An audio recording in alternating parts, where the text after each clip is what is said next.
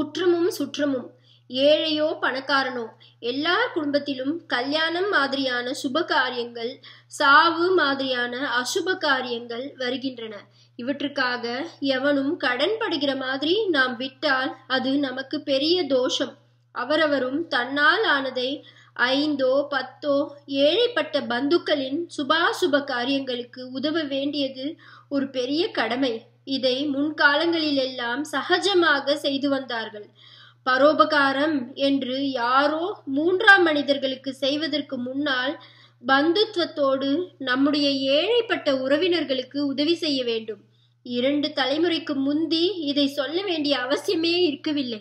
அப்போது கிழவர் பராமரிப்பு இல்லம் விதவை விடுதி என்றெல்லாம் வைக்க வேண்டிய அவசியமே இல்லாதிருந்ததற்கு என்ன காரணம்? பந்துக்களே இவர்களை பராமரித்து வந்ததுதான்.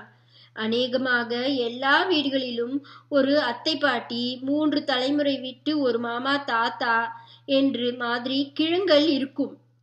தற்காலத்தில் ரொம்பவும் பணக்காரர்களும் கூட வெறும் ஷோவாக பார்ட்டியும் ஃபீஸ்டும் கொடுக்கிறார்கள். அல்லது பேப்பரில் போடுகிற மாதிரி டொனேஷன் கொடுக்கிறார்கள். ஆனால் பந்துத்துவத்தோடு தங்கள் குடும்பத்திலேயே வசதி இல்லாதவர்களை சம்ரட்சிப்பது என்பது இப்போது அநேகமாக போயே போய்விட்டது. அவிபக்த குடும்ப முறை ஜாயிண்ட் ஃபேமிலி சிஸ்டம் போன பின் அண்ணன் தம்பி என்பதே போய்விட்டது.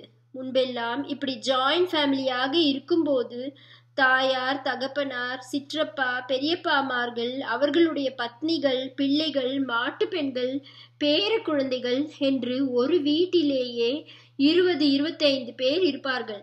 இவ்வளவு பேர் இருக்கிற போது அனாதரவான தூர பந்துக்கள் நாலைந்து பேரை கூட வைத்துக்கொண்டு சோறு போடுவது ஒரு பாரமாகவே தெரியவில்லை.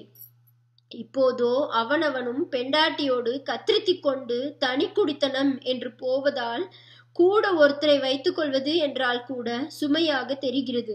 எத்தனையோ ஆயிரம் பதினாயிரம் வருஷங்களாக இருந்து வந்த ஏற்பாடுகள் இந்த இரண்டு மூன்று தலைமுறைகளில் வீணாக போய் இங்கிலீஷ் ஃபேஷன் வந்ததில் உயர்ந்த தர்மங்கள் எல்லாம் நசித்து போய்விட்டன. முதலில் ஏழையான பந்துக்களை கவனிக்க வேண்டும். சுபாசுப காரியங்களுக்கு நாம் செலவழித்து கொண்டு நேரில் போக வேண்டும் என்பது கூட இல்லை.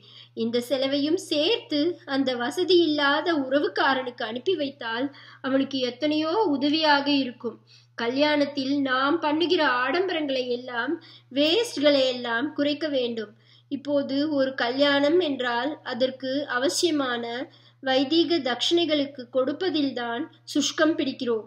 பாட்டு கச்சேரி டான்ஸ் கச்சேரி நாயனம் பேண்ட் ஊர்வலம் என்று வேண்டாத விஷயங்களுக்கு வாரி விடுகிறோம்